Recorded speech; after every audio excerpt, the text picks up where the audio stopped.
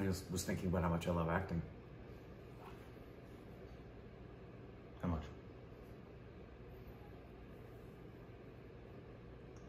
Uh, uh, uh, da din din da, din din da da din din da, din din da dina di dina, dina di dina, din tuk dina, tuna katta dak tuk dina, din din da, din din da tuk tuna katin da tuk dina.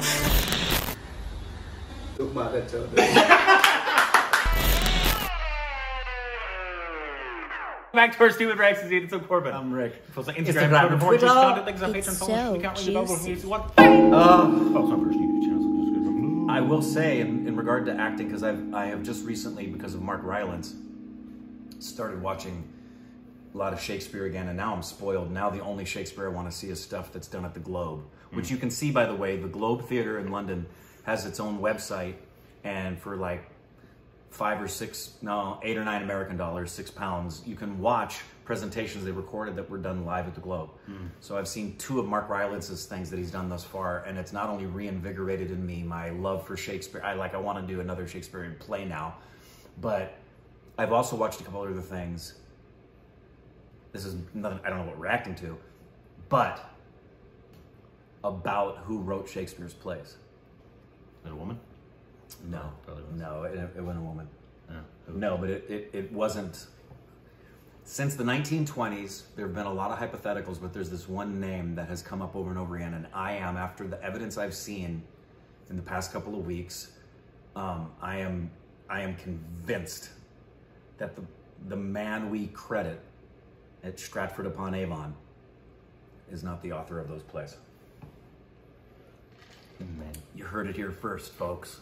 Well, or unless you read that stuff that you read. Yeah, or else, or else you've been listening to stories that have been going around for the past like 50 years, especially in the last 10. Like, so much. Had I known then what I know now, when I was teaching theater at Harvest, I would have absolutely been teaching the fact that it's not who we think it was. And I know, I know who it is. Uh, we're acting to a new trailer, a Netflix trailer. Korbin's mom. Uh, Alma Matters, Inside the IIT Dream.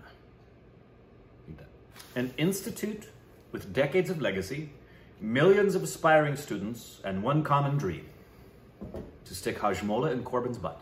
Mm. The IITs are the Indian version of the American dream that involves clearing the world's toughest public exam for guaranteed lifelong success. But life is not an exam, it's a hustle, one that nobody trained them for.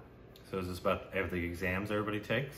I imagine so. It sounds like almost like a documentary. I wonder if it's a, Yeah, a documentary style. it sure sounds like it is. Is this a, um, and this is a, a Netflix. Yeah, I think it's it does. It sounds it's either a documentary or based on the true story, right? Maybe. I mean, it, obviously that we hear every single. It seems like every month you guys have large exams. Yeah. it seems like you guys are in exams like all the time. The messages I get from Super Babies all the time is I'm not going to be around on social media for a while because I have exams. Pray for me. I'm so stressed out. And then I get messages after the fact of either elation or total despondency. yeah. So Here we go. you guys.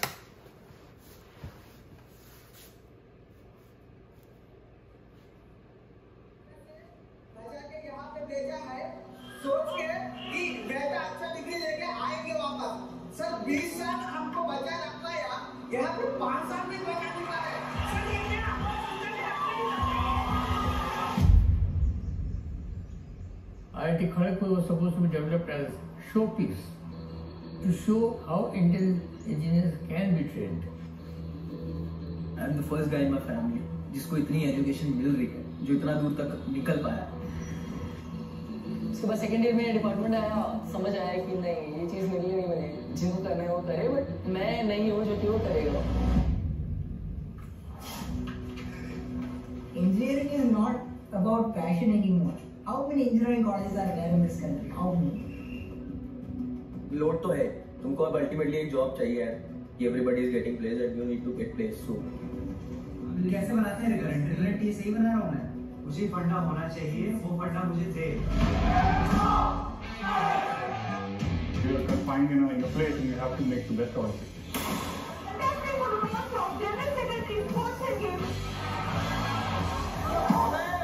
लोग किसी भी हद तक जाने को तैयार होते हैं अपनी आइडेंटिटी को बचाने के लिए और उसको स्ट्रेंथन करने के लिए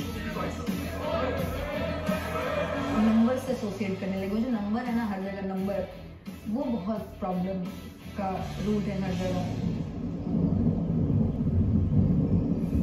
Someone you know, you don't expect them to like hang a rope around the fire, just like quit everything. Mm-hmm. जो सोचे थे कि एट दिस टाइम मैं कहाँ पहुँगा उसकी कंपेयर में कुछ भी नहीं हूँ। और उसके लिए गुस्सा है गुस्सा खुद ही पे है। कुछ एस्टोनिशिंग क्रिएट करना है ताकि ऑडियंस देख के बोले कि भाई ये क्या है कैसे बना है? गर्ल कांड डू बंदी नहीं कर सकती है यार ऐसा काम कैसे कर सकती? है यार ऐसा डेटा डेटा डेटा डेटा पागल तो हूँ मैं बहुत। बस हो गया। लेने देना हो गया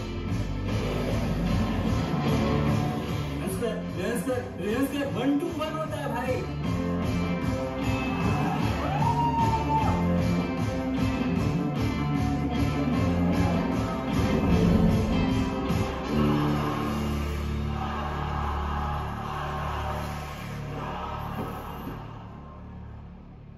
तुमको ये पढ़ने को गया था तुमने नहीं पढ़ा।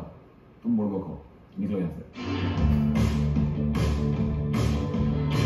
Yeah, so That's- documentary. Yeah, that's a great title. You know, instead of alma mater. Yeah, alma matters. Um, that's an extremely important documentary. I Yeah, feel. me Uh, too. I don't know if there's others like it. Um, this is the first one I'm seeing, but I, I don't know if there's other. But obviously, films have touched on the subject. Yeah. Of the amount of pressure, especially Indian students have put on them from the entire culture, from either their parents, from other peers, from obviously just getting a job, or you think you're just going to be a failure in life if you do not get this job, and then obviously that much pressure building up to a bunch of kids committing suicide because of it. Yeah. Uh, and so I'm assuming this goes into all those aspects. It looked like it did, and that's, sure does. that's an extremely important documentary. It wouldn't surprise me if the documentary covers certain people throughout the storytelling, and if one of the people they've been traveling with kills Mhm. themselves in the midst of the documentary. Um, and it, it is. We discovered that Three immediately. Like, we watched Gully Boy, and requests started coming in, and then the very first film that we saw after Gully Boy was Three Idiots. No, Three Idiots was the first one we ever saw. Oh, that's right. We saw the trailer to Gully Boy. Three Idiots was the first film we actually watched. Yes. Gully Boy was the first film we saw in theaters. Theaters, yes.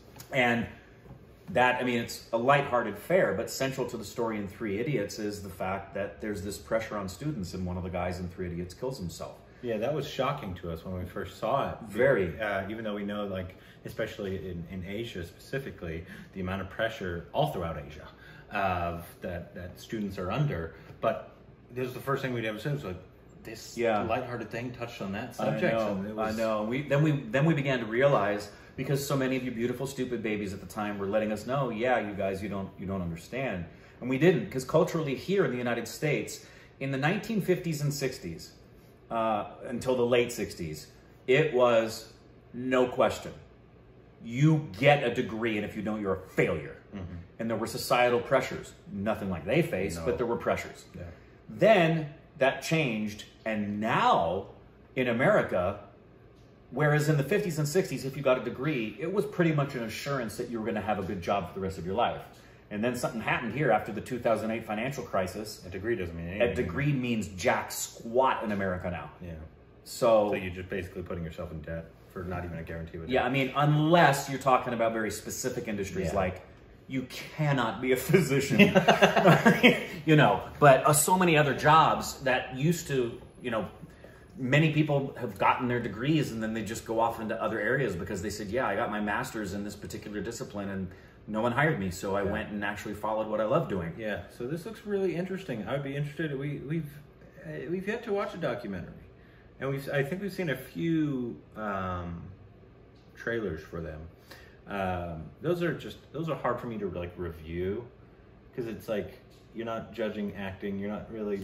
It's a whole different It's a whole criteria. different criteria for Yeah. for uh, documentary. I, I know how to tell if a good documentary is good or bad, but it's it's.